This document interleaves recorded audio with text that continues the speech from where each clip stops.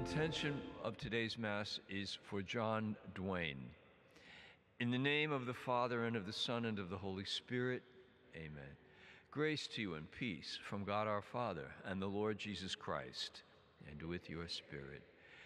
My friends, as we gather together today on the feast day of St. Barnabas, apostle, martyr, and as his name says, son of encouragement, let us call to mind our sins and ask for the encouragement of the mercy and reconciliation that God wishes to extend to each of us. Have mercy on us, O Lord, for we have sinned against you. Show us, O Lord, your mercy, and grant us your salvation. May Almighty God have mercy on us, forgive us our sins, and bring us to everlasting life. Amen.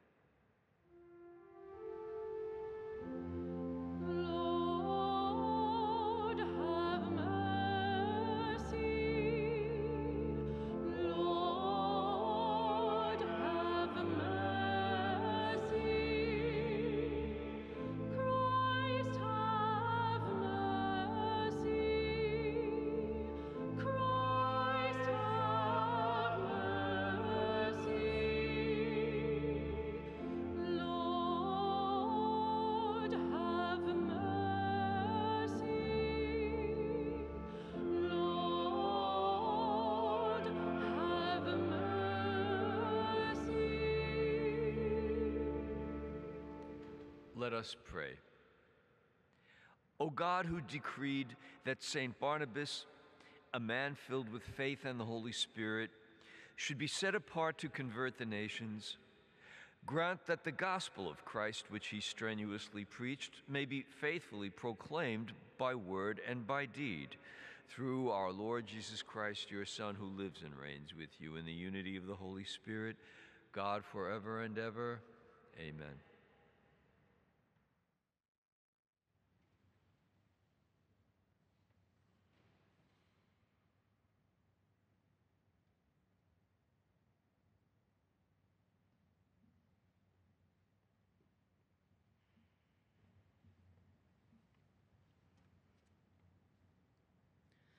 Reading from the Acts of the Apostles. In those days, a great number who believed turned to the Lord. The news about them reached the ears of the church in Jerusalem, and they sent Barnabas to go to Antioch. When he arrived and saw the grace of God, he rejoiced and encouraged them all to remain faithful to the Lord in firmness of heart. For he was a good man, filled with the Holy Spirit and faith and a large number of people were added to the Lord. Then he went to Tarsus to look for Saul, and when he had found him, he brought him to Antioch. For a whole year they met with the church and taught a large number of people, and it was in Antioch that the disciples were first called Christians. Now there were in the church at Antioch prophets and teachers Barnabas, Simeon, who was called Niger, Lucius of Cyrene, Manaen, who was a close friend of Herod the Tetrarch, and Saul. While they were worshiping the Lord and fasting, the Holy Spirit said, Set apart for me Barnabas and Saul for the work to which I have called them. Then, completing their fasting and prayer, they laid hands on them and sent them off. The word of the Lord. The responsorial psalm. Our response this morning is The Lord has revealed to the nations his saving power. The Lord has revealed to the nations his saving power. Sing to the Lord a new song, for he has done wondrous deeds. His right hand has won victory for him, his holy arm. The Lord has revealed to the nations his saving power. The Lord has made his salvation known. In the sight of the nations, he has revealed his justice. He has remembered his kindness and his faithfulness toward the house of Israel. The Lord has revealed to the nations his saving power. All the ends of the earth have seen the salvation by our God. Sing joyfully to the Lord, all you lands. Break into song, sing praise. The Lord has revealed to the nations his saving power. Sing praise to the Lord with the harp. with the harp and melodious song, with trumpets and the sound of the horn, sing joyfully before the King, the Lord. The Lord has revealed to the nations his saving power.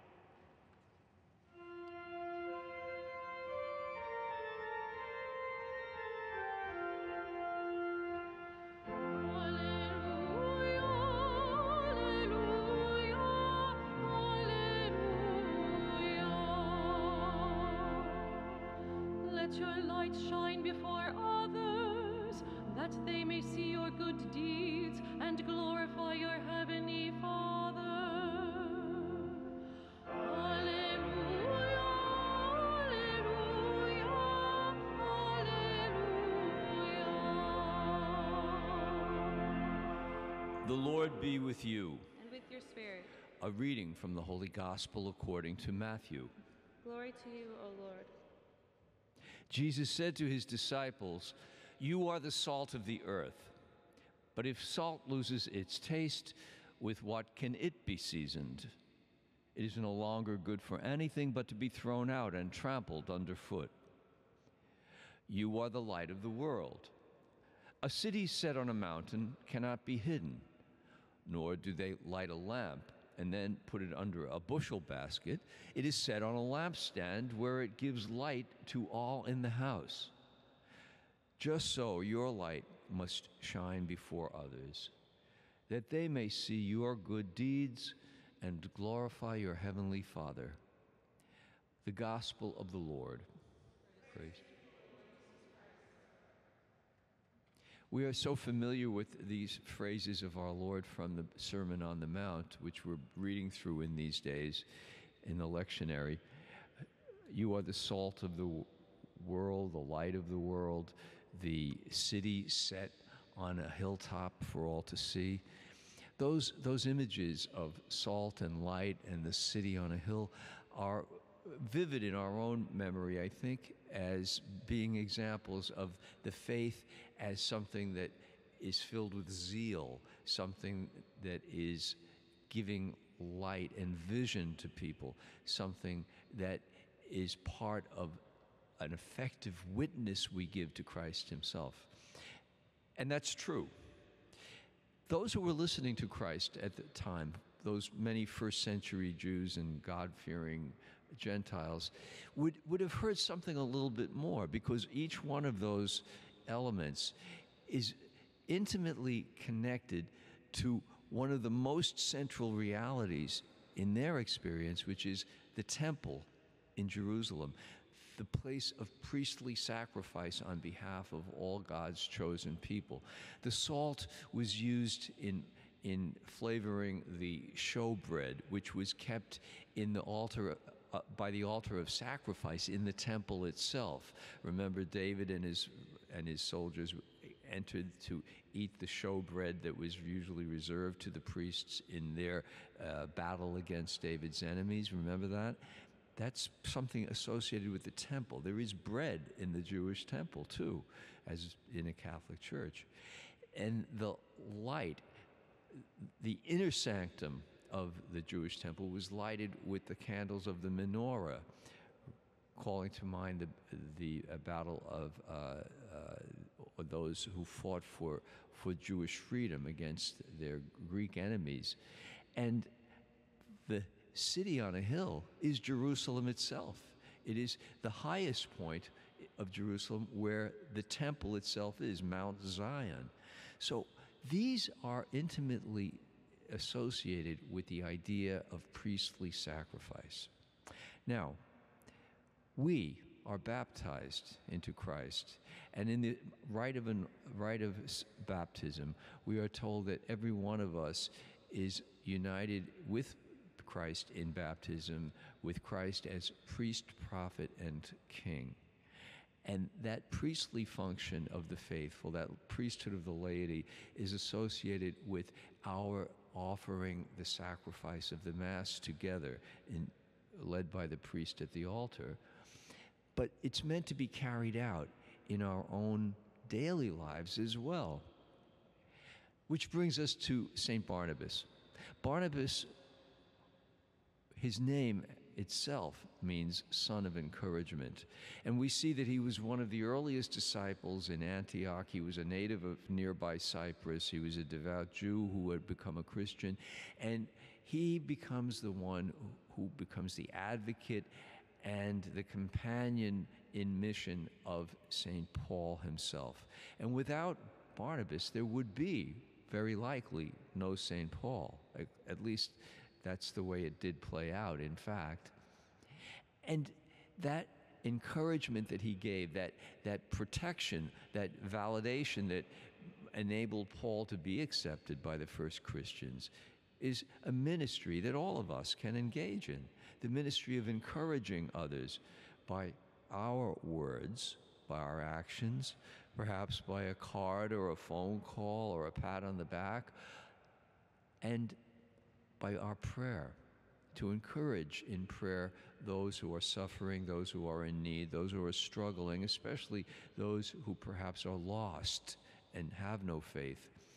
Let us pray today on the Feast of St. Barnabas that we will be that salt, that light, that city on a hill in the ways that we can in our own life and in, in a special way on the Feast of St. Barnabas to pray to be sons and daughters of encouragement to those most in need around us as we carry out our own vocation in Christ as priest, prophet, and king in the world where we live and dwell.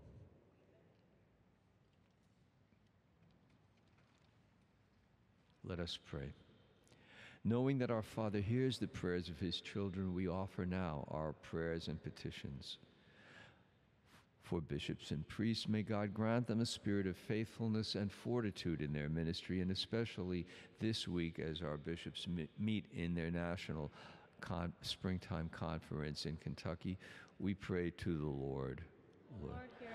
For all who hold civic office, may the guidance of the Holy Spirit help them enact laws and practices that promote the welfare and dignity of all. We pray to the Lord. Lord, hear our prayer. For those searching for meaning or direction in their lives, may God open their hearts to His grace and that we may accompany them in their journey with our encouragement. We pray to the Lord. Lord, hear our prayer. For all of us here at this liturgy, May the graces of the Eucharist bring deeper unity and consolation to us in all our needs. We pray to the Lord. Lord, hear our prayer. And for the intention of today's Mass for John Duane, we pray to the Lord. Lord, hear our prayer. Lord, hear the prayers we offer and grant us what we need through Christ our Lord. Amen. Amen.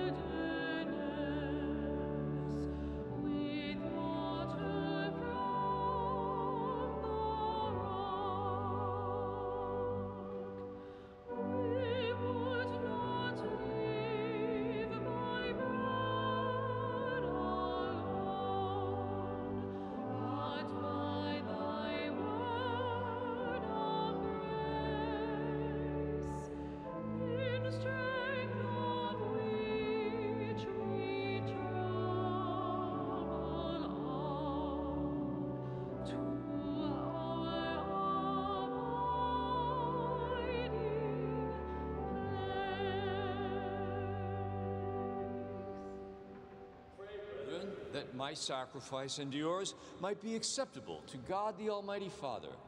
May the Lord accept this sacrifice from your hands to the praise and glory of his name, for our good and the good of all his holy church. Sanctify with your blessings, we pray, O Lord, the offerings presented here, so that by your grace they may set us on fire with the flame of your love, by which St. Barnabas brought the light of the gospel to the nations through Christ our Lord. The Lord be with you. And with your spirit. lift up your hearts. We lift them up to the Lord. Let us give thanks to the Lord our God. It is right and just. It is truly right and just, our duty and our salvation, always and everywhere to give you thanks, Lord, Holy Father, Almighty and eternal God, through Christ our Lord. For you have built your church to stand firm on apostolic foundations, to be a lasting sign of your holiness on earth, and offer all humanity your heavenly teaching. Therefore, now and for ages unending, with all the host of angels, we sing to you with all our hearts, crying out as we acclaim.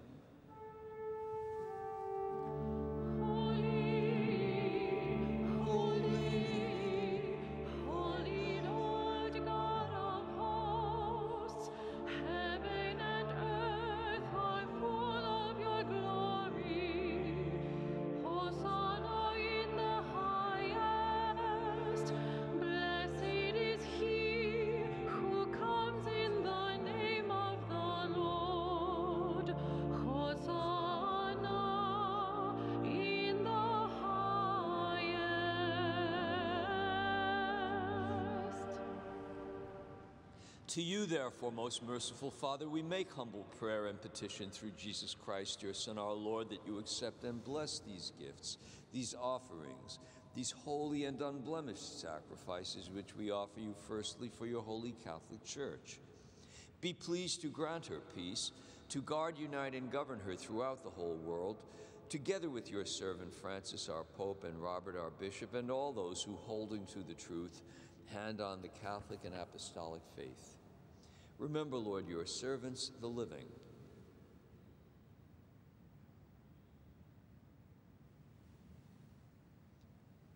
And all gathered here whose faith and devotion are known to you.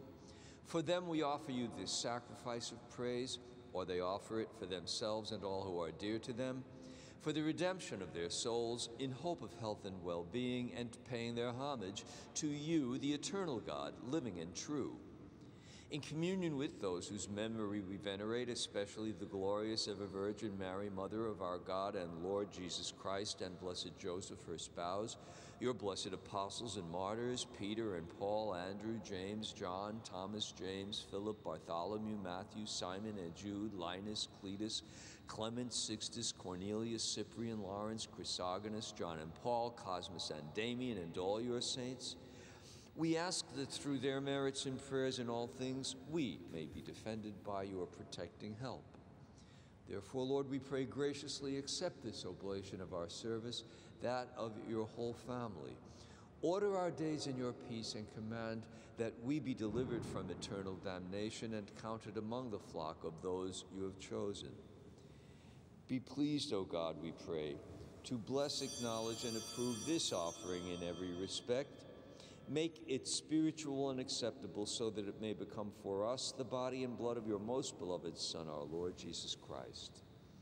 On the day before he was to suffer, he took bread in his holy and venerable hands, and with, with his eyes raised to heaven, to you, O God, his almighty Father, giving you thanks, he said the blessing, broke the bread, and gave it to his disciples, saying, Take this, all of you, and eat of it, for this is my body, which will be given up for you.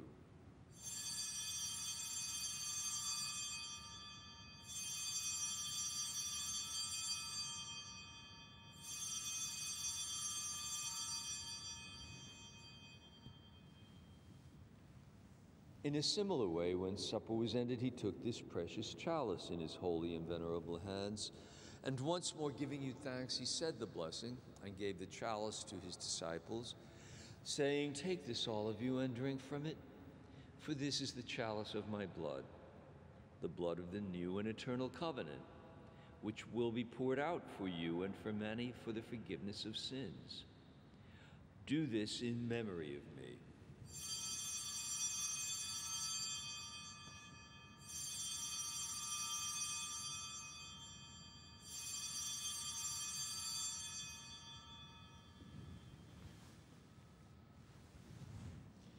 Mysterium Fidei.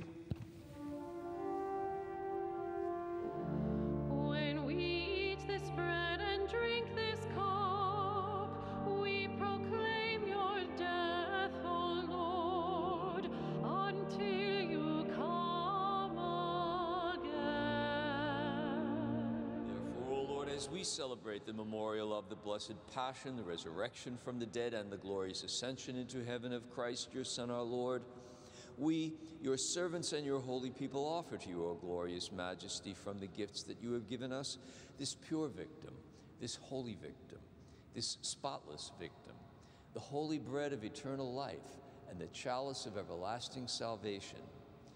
Be pleased to look upon these offerings with a serene and kindly countenance, and to accept them as once you were pleased to accept the gifts of your servant Abel the just, the sacrifice of Abraham our father in faith, and the offering of your high priest Melchizedek, a holy sacrifice, a spotless victim. In humble prayer, we ask you, Almighty God, command that these gifts be borne by the hands of your holy angel to your altar on high in the sight of your divine majesty, so that all of us, who through this participation at the altar receive the most holy body and blood of your Son, may be filled with every grace and heavenly blessing. Remember also, Lord, your servants who have gone before us with the sign of faith and rest in the sleep of peace.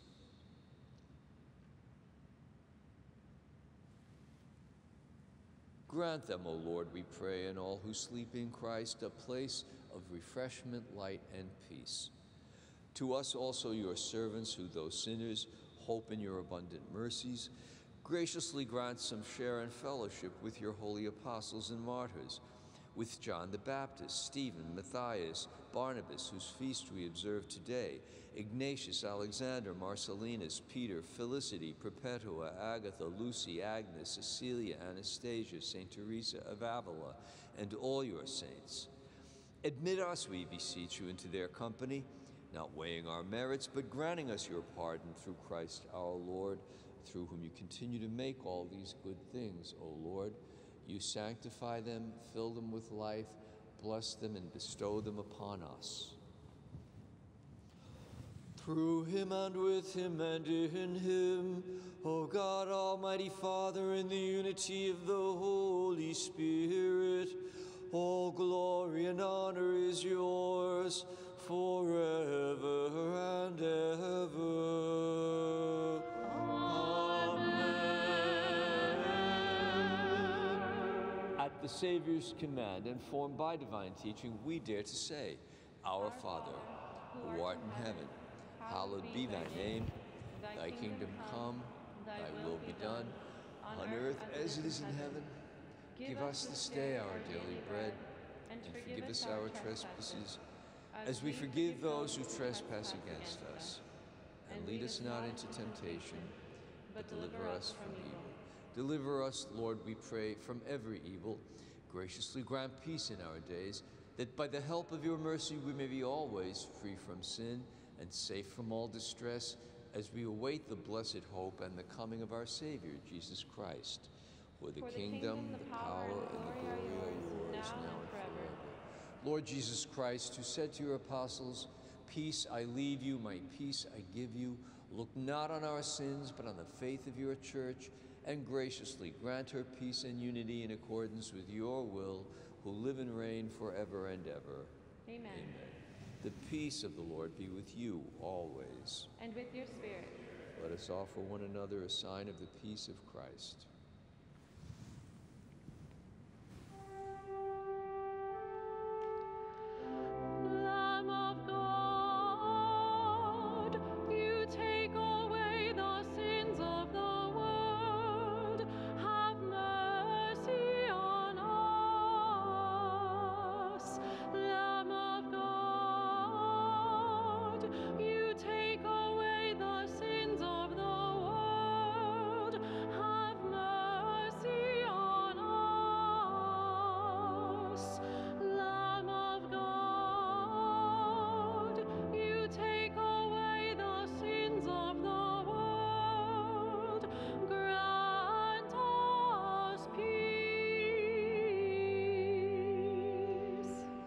Behold the Lamb of God.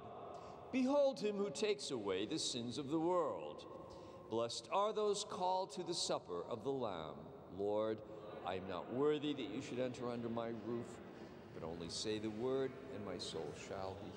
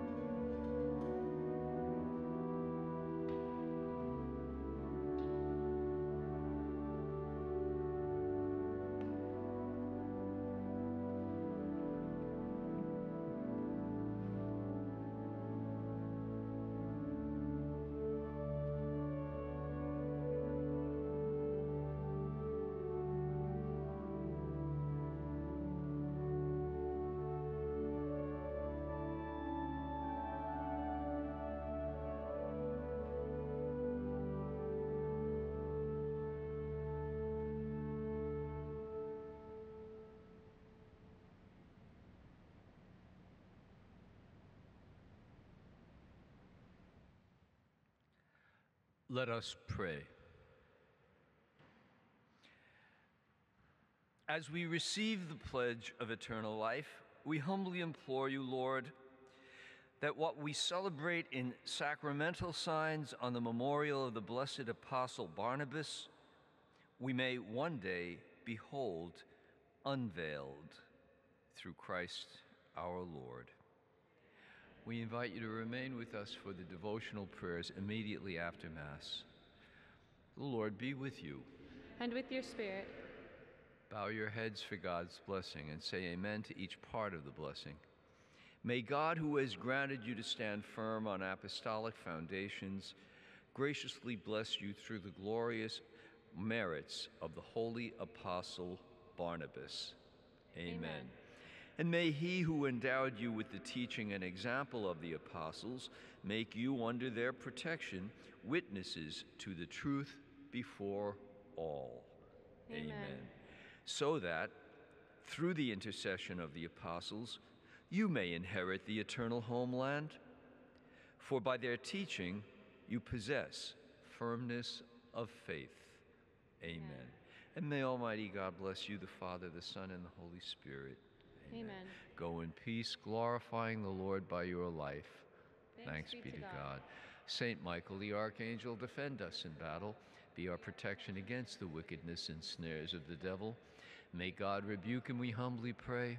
And do thou, O Prince of the heavenly host, by the power of God, cast into hell Satan and all the evil spirits who roam about the world seeking the ruin of souls.